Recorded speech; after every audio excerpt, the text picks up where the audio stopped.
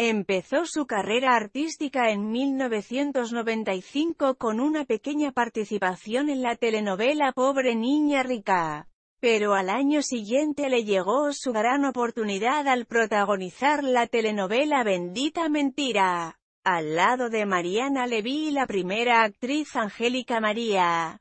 Continuó actuando en telenovelas como Vivo por Elena, Nunca te olvidaré y Tres mujeres. En el año 2002 participa en la telenovela coproducción de Fonovideo y Venevisión Gata Salvaje, protagonizada por la mexicana Marlene Favela y el cubano Mario Cimarro, la cual fue un gran éxito en todo el continente. Al año siguiente retorna a México e interpreta a su segundo villano en la telenovela de Carlos Moreno Laguillo, Bajo la misma piel, donde compartió escena con destacados actores como Kate del Castillo, Alejandro Camacho y Diana Bracho entre otros. En el año 2006 participa en la telenovela de Telemundo Tierra de Pasiones, que también fue un gran suceso de audiencia. Allí Catalán interpretó al hermano de la protagonista, la venezolana Gabriela Spanik, en 2009 participó en la telenovela En Nombre del Amor,